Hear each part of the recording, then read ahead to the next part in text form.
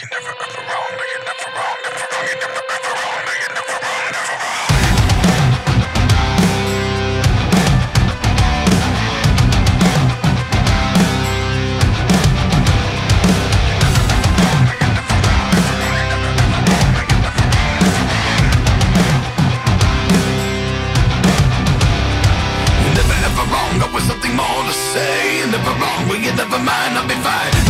Hey, what is up everybody? Welcome back to House Wolf Art Gaming. So today for our little reaction video, we've got 5 ways gamers are holding back the games they love. This is from Cracked, and apparently um, one of my friends said that this would definitely offend me because I'm a gamer. I've been gaming since I was like 3 or 4 years old. Yeah, and um, yeah, he said this would be a good thing to react to. So, yeah, let's get into it anyway. Hey, America. I'm from Australia, and I'm currently in Australia. So, no, not hi, America. I'm Crack Senior Editor Josh Sargent, and I'm here to talk about video games. Specifically to say that we let them down, guys. They were supposed to be the future. Interactive storytelling was supposed to surpass movies as the new art form of a new generation, but we won't let it. We're holding them back. Uh, I don't really think we're laying them down, and I think that uh, games sort of have surpassed, surpassed movies at this point. I mean, it's more. I see conversations a lot more about games than movies. I mean, I haven't even had a conversation about a movie in months. So I think that even for some people, it has kind of surpassed movies a bit. So I'm just saying, I'd rather have an interactive story than just a story where I can just watch, even though it could still be cool. because you can't admit that the level of violence in video games is smearing banana paste on your chest and calling yourself the king of France insane. Look, game bros and game ladies, I don't think violence in video games is a bad thing. I just think it's weird that it's the only thing. No, it's not the only thing. What what do you call the art?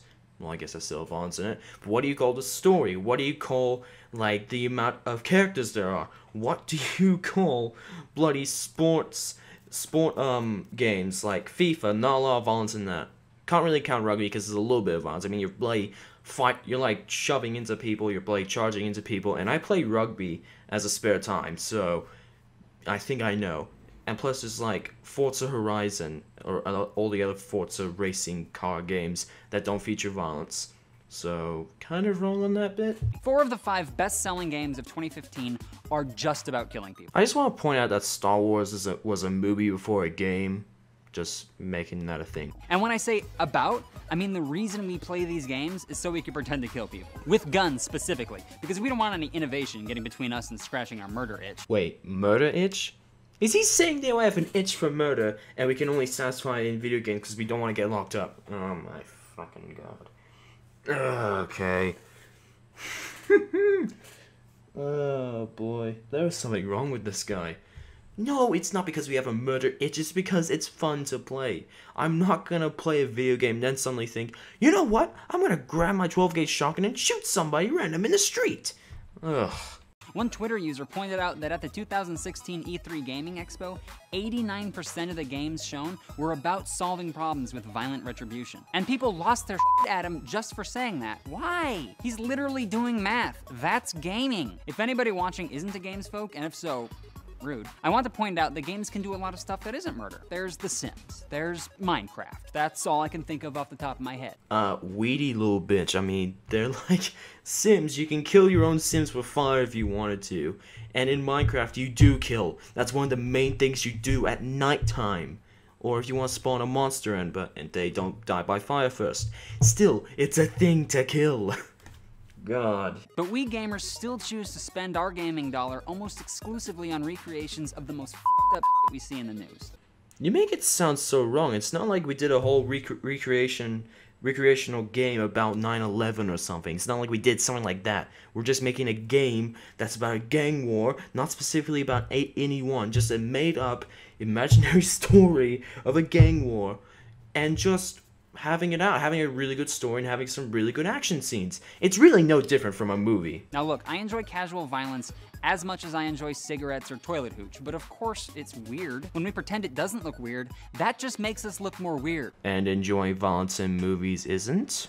Compare these games to the top five highest grossing movies of 2015. It's still mostly violence, but at least it's different kinds of violence. We have laser sword fights, dinosaur fights, car and gun fights, superhero fights, and I didn't see minions, but I assume there's some graphic torture or something. What do you mean different types of violence? I mean, there's a couple of things in there that are incorporated with video game violence, like that Star Wars laser fight things.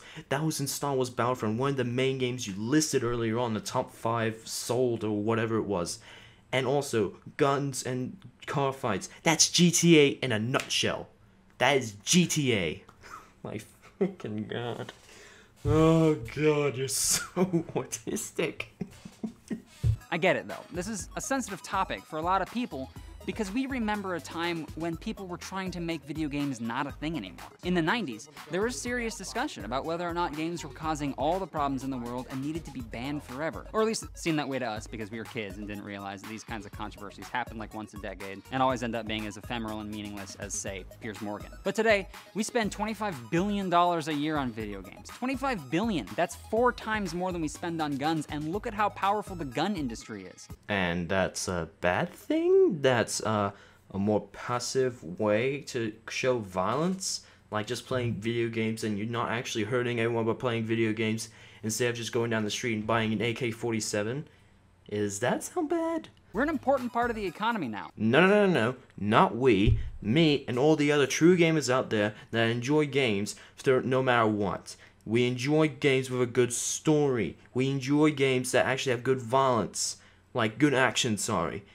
You are not part of this equation. You're trying to stop action related games. So, at the risk of sounding cynical, even if scientists wearing lab coats and speaking in European accents conclusively proved that video games caused real world violence, they probably still wouldn't take them away. Because gaming is expensive enough now to be a rich people hobby, and rich people hobbies can be literally anything. We're safe. Who cares? So let's just go full punk rock and admit that gaming is super f***ed. They can't prove it though. That's the thing.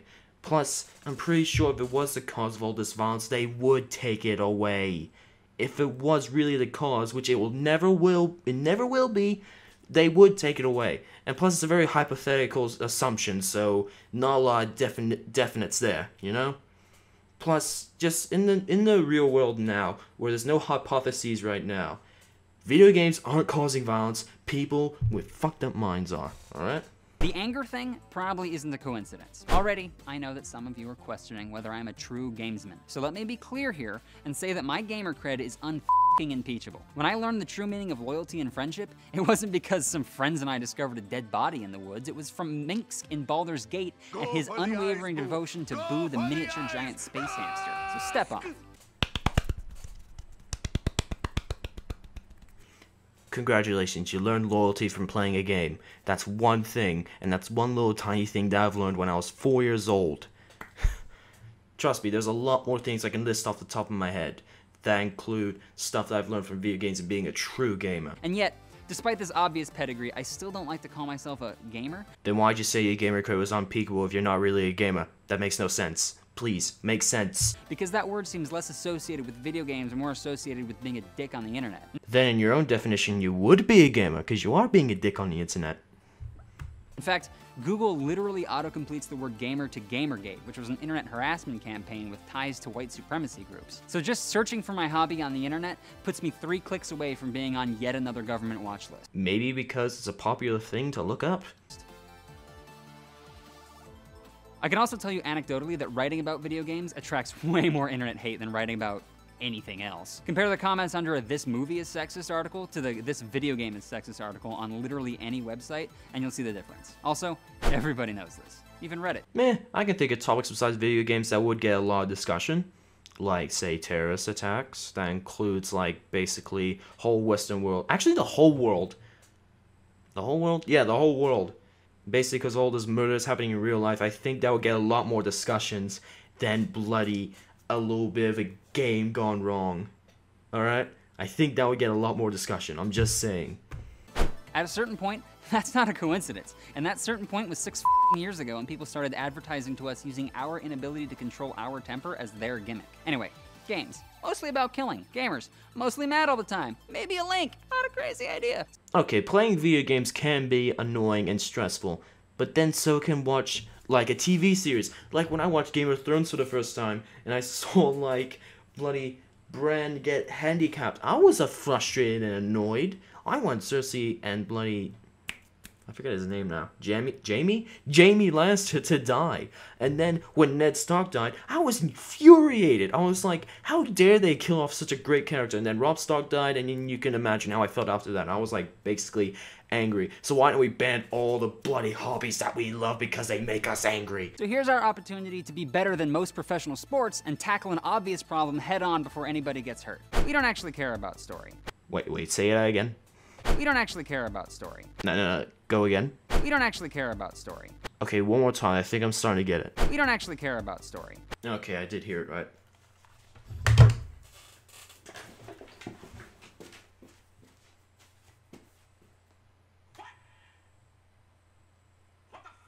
I've read hundreds, probably, of articles about why video game stories are so bad. Why, the articles ask. Why are they so bad? Video game stories are some of the most amazing things of all time. I mean, the Halo franchise has a good story. Titanfall 2 had an excellent story. Uh, freaking. All the Telltale games had good stories. And also, Shadow of Mordor was a really, really good story. And, uh, yeah, that's all I can list off top of my head. Yeah, pretty much. Oh, Fallout 3 and Fallout 4. Yeah, those ones were really good too. And just because it's an article does not mean that it's correct. You know, some people are like you, which I'm really concerned about because they're breeding. God. I'll tell you, it's because we gamers, you and me, Again, you're not a gamer. I am. And I actually like games. So, again, I'm the gamer. You're not. Do not, do not categorize yourself like me. Because you are nothing like me. You're not even the size of me. don't give a f- Die. It's not why we play, and it never has been, and it never will be. The stories don't matter to us. Well, the fans of Destiny did seem to care an awful lot, and its story did kind of matter to them because they did kind of ask 3, 343, I say ask very lightly, to thoroughly uh, demand a story. So they added a DLC in, and then the fans were like, okay, we like it now. See, that's the that's the difference between Halo players nowadays and boy Bungie slaves. Because Bungie slaves, when uh, the Halo in Halo Five, for example, they did fan service, right? The company did put all these things that the fan, fans asked for, and then the Bungie slaves are just like, this should have been in from the start, and then they move over to Destiny because it was made by Bungie, and a Bungie combined with Activision is kind of disgusting, and. Uh, Yeah, and then they basically they do the same thing with the DLCs, and they just go, "Yeah, this is great. Thank you for listening to fans." I went off track, but I'm sorry. I just needed to vent that as soon as I thought about it. Now, games have good stories. Last of Us has a cool story, and if you watch all the cutscenes on YouTube, it's a pretty good movie. No video game cutscenes that are combined into a movie would not make a very good movie because in because in a lot of bits you would have no idea what's going on. So, kind of a redundant thing to say. In fact, you could make the argument that that's the best way to enjoy The Last of Us' story. Want proof? I'm making that argument right now. You just got told, welcome to the internet, I am your god. Well, just like religion, you haven't been very factual so far, so that kind of fits the title very well. But then again, what is a god to a non believer? I'm the non believer here. You are no god. Anyway, I gotta spoil this game for you. You spend most of The Last of Us as a big tough man named Joel protecting Ellie, a young girl. At the end, you find out that the only way to cure the world's zombie problem is to kill Ellie. But Joel can't let that happen, and he kills a bunch of scientists, escapes with Ellie, and lies to her about what happened. Yeah, but that ending was kind of trash, though. I mean, seriously, if there's like a whole cure to a zombie apocalypse and you have to kill one little girl, I think a lot of us would do that in a heartbeat. For the ending to work emotionally, like as a story, you have to believe that Joel sees Ellie as vulnerable and feels a responsibility to protect her. And yet, she's invincible during the entire game. No, she isn't. She can be grabbed, and if you don't save her in time, she dies. And also that part with the car where the zombie's attacking her, she will die if you don't help her. Yeah, there's a bunch of moments where Ellie can die. Plus, she plays Ellie in the ending, and she can die, obviously, as well. So, again, you're not being factual at all. She can't get hurt or even seen by enemies because if they could see her, the whole game would have been a huge pain in the ass. That's kind of why they did it, so the that wouldn't ruin the game because then it would be so irritating that people would not want to play it anymore. Plus, when you think about it, they're gonna go for Joel first because he's the guy with all the guns and everything. Ellie's just to the, to them, it's just a kid. It's just a kid. She won't do too much, but that guy with the gun surely will. So it's sort of common sense for them to go after go after Joel. But then again, it would make more sense for them to hold her hostage and make and tell him, "Hey, stop doing that. Stop doing that. Just surrender." Yeah, that make that makes the most sense in their situation. So, a game can't compromise the fun for the sake of the story, even when the game's main appeal is the story. Why? Because we just want to beat people to death with a baseball bat. No, like I just said earlier, because it will be irritating, yada yada yada. Plus, if she w- if she does get she does get grabbed, but if she were to get grabbed and was in danger or something, you would still have to bash the guy's skull into um, you know, save her. So really, you're still killing either way. Like either way, you're still killing. So again, another redundant argu- redundant argument. Again, no judgment because that's awesome, but that's still why we're playing. And the thing is, if we don't like a game's story that gets in the way of the gameplay, that means we don't actually care if games are art or not. Did did did get did you what? Nope. No, no, no. So much nope. I'm leaving. What are you doing? We need you to finish, man. Listen, there's a whole world out there that's full of life. I'm not gonna waste it if it comes like this. Come on, please, man. You need to do this. Okay, if I do have to do this, can I please request a noose and that ceiling fan at the end of the video? No, you can't. No? Look, you do this or you have to play Infinite Warfare. No, that's worse. I'm gonna keep playing it. Remember when Roger Ebert said that video games could never be art? We got all mad for that stupid old man because he doesn't even play video games. And then remember how we spent the next decade doing nothing to prove him wrong? Well, see everyone.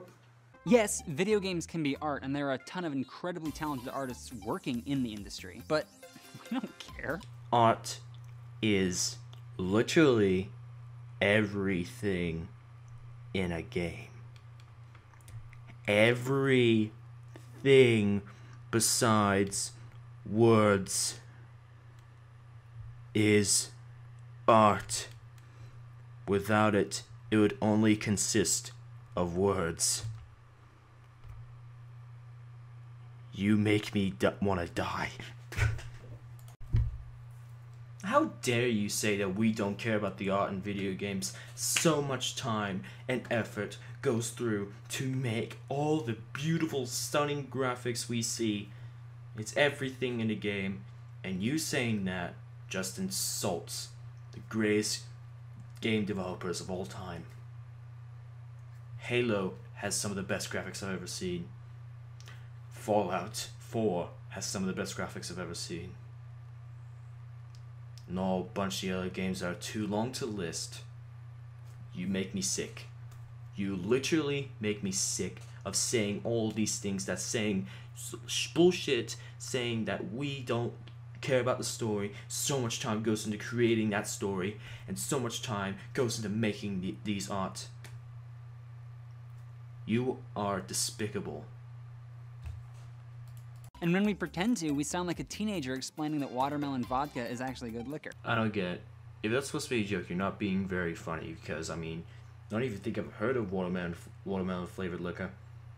Might taste good. I like watermelon. When I grow up, might like watermelon vodka as well. So, plus it's also kind of redundant because again, everything that look, all the visuals are because of art. All of them except for words. It's all because of art and I'm pretty sure that we can have liquor without a watermelon flavored vodka, but we cannot have a game without art. We cannot. It's impossible. Look, maybe Destiny has a rich and evocative mythology, but that's not what keeps people signing in every week. They're just doing that to get their fat loot so they can fight the tougher monster, and that, my friends, is different. Oh, look at that. That's exactly the game I was talking about earlier. They got so much criticism for not having a story that players said, "Hey, we need a story to keep to make this interesting." You are disgusting. That's the designer putting us in a Skinner box and getting us addicted to simulated accomplishments. I'm not sure what emotional truth you can get out of spending all day leveling up, but I do know that almost every video game review I've ever read has talked about whether the game hooks you and its replay value. Look, if we really cared about art, we wouldn't have reacted to Mass Effect 3's ending by demanding that they patch it in a way that lets us fulfill our power fantasy. Okay, this is the last time I'm ever gonna say say this again because I feel like I'm gonna say it every time I stop this and try to explain. But again, every single visual thing comes from art, so we do care about the art. It's not the art that made us want to patch Mass Effect 3's ending because the ending was so bad. All the choices that you did and all the things that you did before felt useless. They felt redundant because of the new, like the ending. You, um, how was it again? Like, you die in the ending? Or, or like, you feel so helpless and then you have to do this sacrifice. Everything just felt like for nothing. It was all for nothing. That's why we wanted to patch it. And we wouldn't have created a petition to get a review of Uncharted 4 removed because we disagreed with it. I. What? How does having a review and then wanting to take it down, how does that count as not caring for the art? We pro- we disagree with what they said, so we want to take it down because it was it was review was just so bad and so untrue.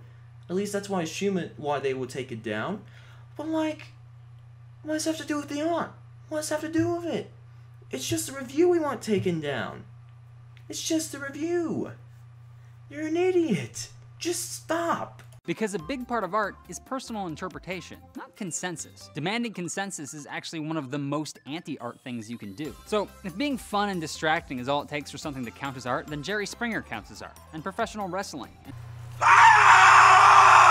making list based comedy videos for the internet. Really? Because all you seem to done is prove your how low your IQ is, and I haven't laughed at all. Well, except for the part for your stupidity. So, yeah, you're making people laugh at you, not with you though. And just as an aside, Metal Gear Solid creator Hideo Kojima also thinks that games aren't art. Well, Kojima can't really make up his mind because in another article he said of how, you know, video games were art, and then in the other article he said, yeah, video games were not. So he's kind of two-sided here. So not really a good example. And he's the guy who allowed me to create the most beautiful moment I have ever seen on a TV screen. Video games are not relaxing. Well, what the fuck is this? That and just playing like a really little relaxing game that's not, has nothing to do with competitiveness, nothing too on, just a relaxing video game like playing one of the couple of the Halo missions on easy because you're just sitting there, you're just playing, or even on normal. Normal's not that hard either. You're just playing, and you're enjoying the story, and you're just relaxing like you're watching a movie.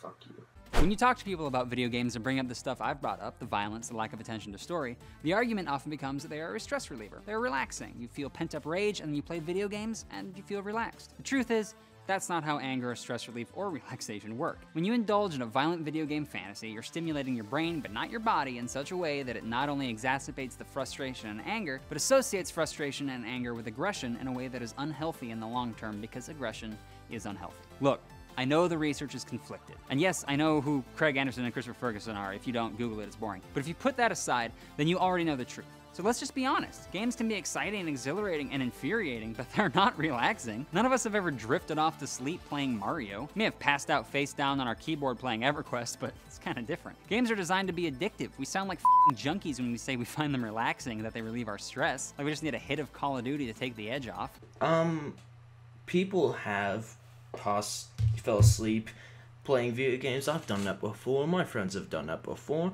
A lot of people have done that before because we're playing late at night and then we just get tired and then we fall asleep. Yeah, I played it. I did it one time where I was playing. What game was it? One of the Call of Duty campaigns. Like, some of the campaigns are just so boring. And it's just like. You're playing it and then it's like. I'm drifting to sleep. It was like one of the really bad Call of Duties. I think it was like. What mission was? What one was it? It was like one mission in one of the Black Ops games. I can't remember what it was. It was like three or something because I was not immersed in that at all. I was waiting just for like something relatable to the prequels to show up, but I was just bored. I was just sitting there. I'm, I fell asleep. I fell asleep on my couch. I couldn't take it. So yeah. Yeah, video games can be a good stress reliever, and it could be in a way that you're relaxing. Because again, you're sitting down, you're playing a game, and it's just like, oh, the stress is gone. I feel much better now. And then, yeah. So yes, sometimes it can be relaxing, sometimes it can't. It definitely can be relaxing though, as I proved just earlier. So let's be honest. There's nothing wrong with saying that you play them for fun. There's nothing wrong with saying that we like ripping a demon's head in half because we're broken inside. Really? Because you're trying so hard in the stupidest way possible to convince us that it is bad. That there was something wrong with it. Plus, that cigarette I could already. I could already think of when you've pulled that bloody cigarette box out. You need to be better, have better timing with your jokes. Seriously, that was just boring. I was just like, no, he's gonna make that bloody addiction joke where he contradicts himself again, isn't he? So, yeah, jokes are bad, your points are shit. That's basically it. I mean, it's better than admitting we're addicted to something. Yeah, I don't think I need to say any more about this. So yeah, that's it for this video, guys. Like, subscribe, and I'll see you guys next time. Bye.